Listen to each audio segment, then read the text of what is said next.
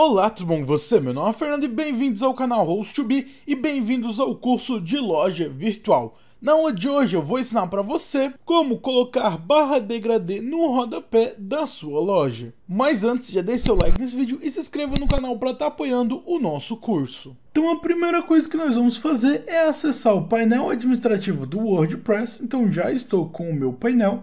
Em seguida, nós iremos no lado esquerdo, no menu lateral, e nós vamos vir na opção chamado Aparência. Então basta clicar e ao clicar será aberto a página de temas. E a configuração que nós vamos fazer nesse vídeo vai ser no tema Astra. Então o que eu vou estar utilizando aqui é por tema Astra. Caso do seu lado você utilize outro tema, o jeito de fazer a configuração pode ser um pouco diferente, pois cada tema pode mudar. Mas então aqui nesse caso vamos utilizar o tema Astra de exemplo. Nós iremos então no tema no lado da direita e clicar em personalizar. Será então aberto a página de personalização do nosso tema e o que nós iremos fazer é vir no lado esquerdo no menu lateral até abaixo na opção escrito CSS adicional. Vamos clicar e aqui então vai ter a página para a gente poder adicionar um CSS ao nosso site WordPress e tudo que for feito aqui, o CSS é aquele arquivo para modificar o estilo do nosso site e tudo que for feito aqui vai ser válido para todas as páginas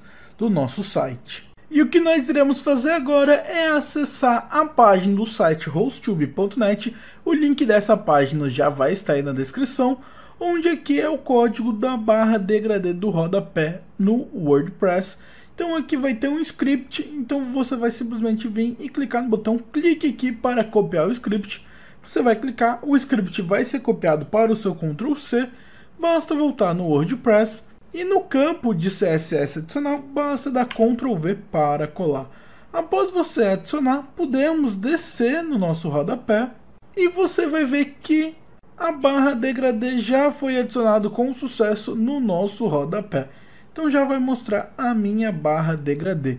Aqui a cor dela tá conforme como se fosse um arco-íris, porém você pode colocar a cor que quiser. E para você alterar a cor, você vai acessar novamente o site do Host2Be e acima tem a opção site para alterar a cor degradê e você vai clicar no link para entrar. Seremos então redirecionados para o site ccsgradiente.io onde aqui a gente pode montar o nosso degradê de conforme a gente vai querer utilizar lá na barra. Então aqui você vai ter o campo das imagens e pode colocar o degradê como você quiser. Cada barrinha dessa vai ser alteração de uma cor e você pode remover a barrinha, pode adicionar novas barrinhas, então basta você colocar e selecionar a cor que desejar. Então, por exemplo, eu vou deixar esse degradê como está aqui. Claro, ele não combina do seu lado, você vai escolher um degradê que combine mais. Isso aqui é apenas um exemplo.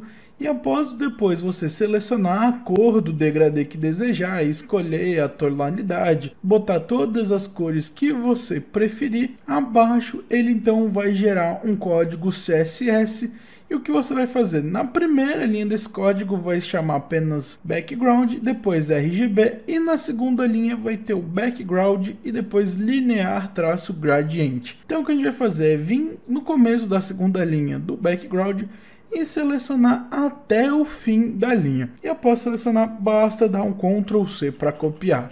E após copiar, você pode voltar para o WordPress e aqui para alterar a cor, nós vamos vir no meio, onde vai ter separado o código da cor, onde está aqui background linear, traço gradiente. Uma linha acima está vazia e uma linha abaixo também. Se a gente clicar na palavra background, vai selecionar todo o código.